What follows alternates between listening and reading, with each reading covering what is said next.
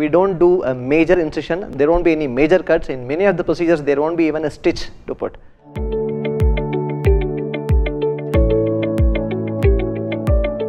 Namaste, I am Dr. Amitha Vikrama. I am an interventional radiologist working at Apollo Hospitals, Bannerghatta Road, Bangalore. I would like to tell you briefly about the kind of work we do in interventional radiology.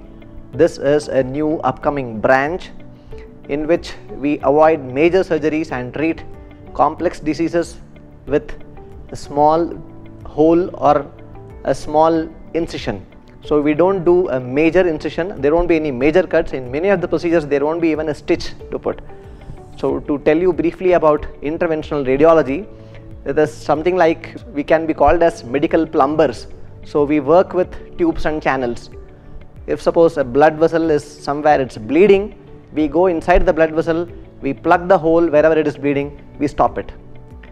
If suppose there is loss of blood supply to some organ, it might be something like a stroke, we go inside the blood vessel, we clean up that occlusion, we open the blood vessel and make sure that the blood flows again because of which we can treat many diseases all the way from head to toe and involving very less hospital stay and early recovery of the patients. Interventional radiology is the future and probably we are getting more and more surgeries off that list because of these interventional radiological procedures.